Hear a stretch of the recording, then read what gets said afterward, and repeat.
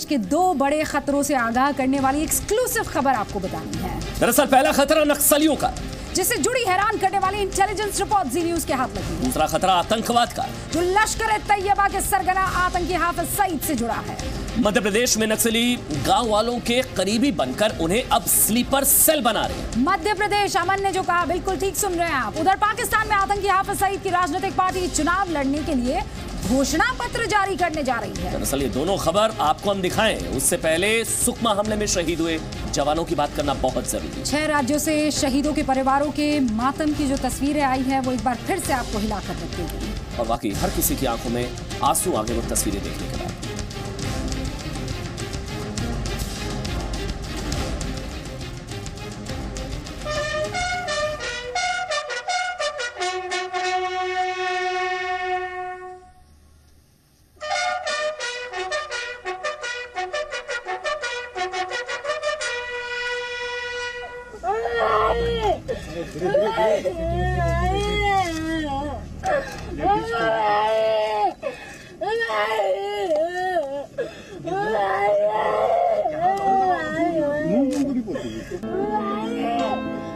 इतनी सी बात हवाओं को बताए रखना रोशनी होगी चिरागों को जलाए रखना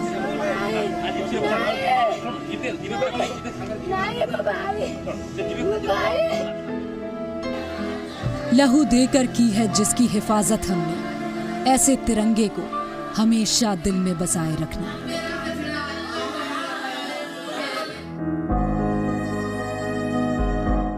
सुकमा नक्सली हमले का जख्म कितना गहरा है, दर्द कितना बड़ा है, शब्दों में बयां कर पाना मुश्किल है।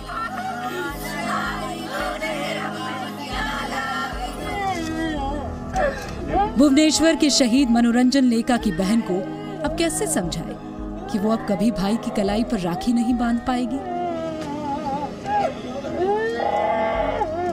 कैसे समझाए उसे कि ये नक्सलियों के हमले से कहीं ज़्यादा सिस्टम का फेल होना है?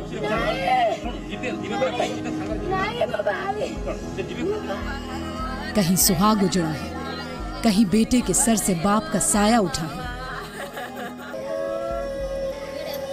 कर्नाटक के हासन में भी मातम है।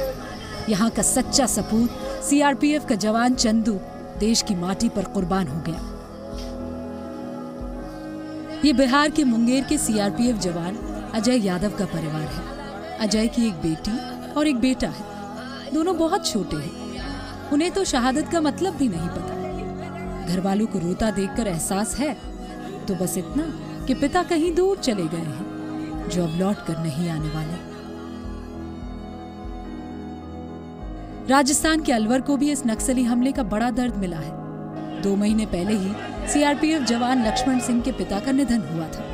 अब लक्ष्मण सिंह की मौत की खबर सुनकर पत्नी की हालत खराब है। 24 घंटे से अस्पताल में भर्ती है। मेरे पापा डरे नहीं। भारत माता की जय। वंदे मातरम। वंदे मातरम।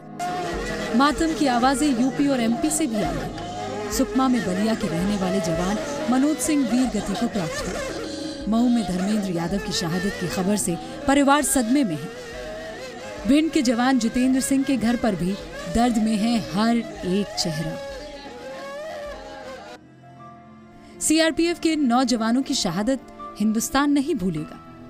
देश के इन बहादुर सपूतों को जी न्यूज़ का सलाम।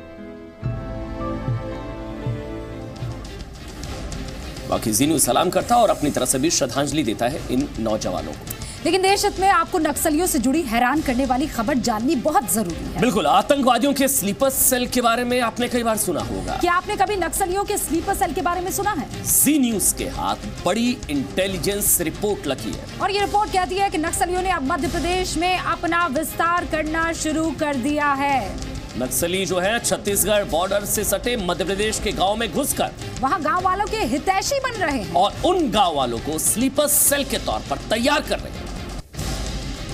बहुत ज़रूरी है कि जिस तरीके से आतंकवाद से निपटने के लिए देश तत्पर है उसी तरीके से नक्सलवाद से निपटना होगा। और ऐसे में आपको दोबारा ये तस्वीर दिखानी ज़रूरी है। शहादत किसी की कम नहीं।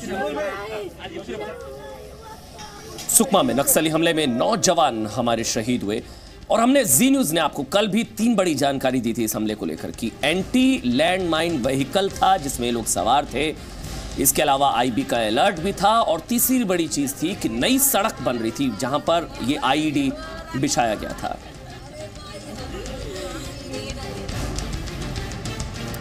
क्या देश में ज़रूरी नहीं है कि नक्सलियों से उसी तरह से निपटा जाए, जैसे हमने कहा, आप किसी आतंकी से निपटते हैं? बिल्कुल खास तौर पर तब जबकि नक्सली लगातार नई रणनीति बनाने में लगे हुए हैं। सूत्रों के हवाले से पता चल रहा है कि अब नक्सली मध्य प्रदेश को स्लीपर सेल का अड्डा बना रहे हैं।